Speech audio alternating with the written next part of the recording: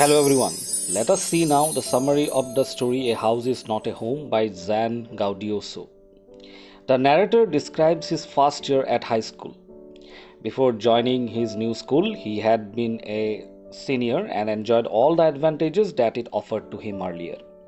However, in the new school, he is a junior and a new student, and all his friends have been moved or sent to different schools the author feels isolated and lonely at the new school. He misses his old school, his friends, and his teachers also.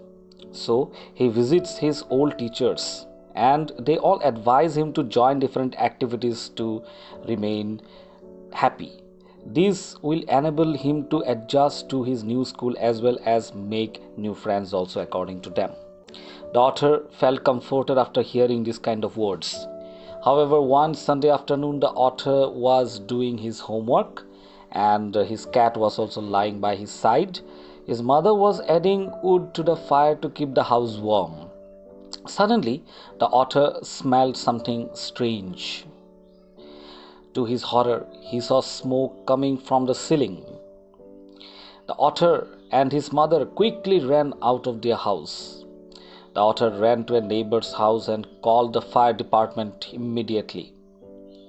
However, his mother, on the other hand, ran back inside and came out with a box of important documents. Then she ran back again inside. The author was terrified to see his mother ran back inside the burning house.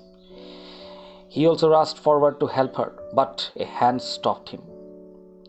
Then the firemen had arrived. One of them had placed his hand around the otter to stop him from going inside.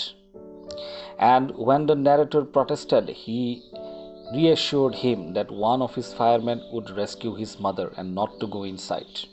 The otter, helpless, watched them enter the house. Then he forgot all his quarrels with his mother and he just wanted his mother to be safe. The firemen were finally able to get his mother out of the house with difficulty. The otter ran and hugged his mother.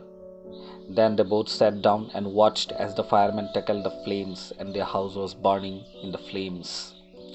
It was then that the narrator made a horrific realization. His cat had not made it out of the house. This realization was the tipping point for the author. Everything that had happened to him, like going to a new school and losing his home and his cat, suddenly hit him with shocking intensity. He felt it was all too much for him. The author and his mother made their way to his grandparents' house. It was a dark time for the author. He had lost his house, his belongings, and his cat all at once. Then he had to go back to school with some borrowed clothes and some books. Then, after that, he walked around everywhere in shock. He kept going back to his burned house and watched men clear away all the burnt rubble and belongings. He hoped that one day he would find his lost cat too. At school, he felt that everyone was staring at him it was not the kind of attention that he wanted as a new student. And one day, while he was getting ready for a gym class, his schoolmates kept coming up to tell him to hurry up. She could not understand anything. He could not uh, find anything strange, but like he had used all his strength to go inside. And as he entered the gym, he saw a huge table loaded with so many things there. The school uh, people had collected money for the from the staff and the students and brought all the school supplies notebooks and different clothes also. For the author it felt like christmas. But best of all was that everyone came up and introduced themselves to the author. And they also expressed their concern for the author. By the end of the day he had already made friends. For the first time the author felt that things were going to be okay now and a month after the fire, the author watched his house being rebuilt with his new friends. Suddenly, a woman came up to him. He, she uh, was carrying the cat. He grabbed the cat and hugged this little cat. The woman had found the cat a mile away and had relentlessly searched for the owner of the cat. The author thanked the woman for her kindness, and his happiness was now complete.